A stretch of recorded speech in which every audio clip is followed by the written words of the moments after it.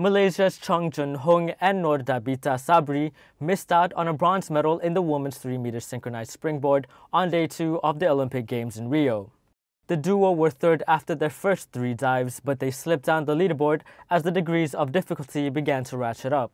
Jun Hoong and Nur Dhabitah eventually finished fifth with 293.4 points. Above all was a display of China's excellence.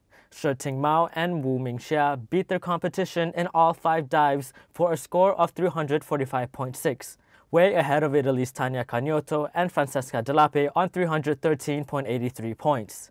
Australia took the bronze with 299.19 points.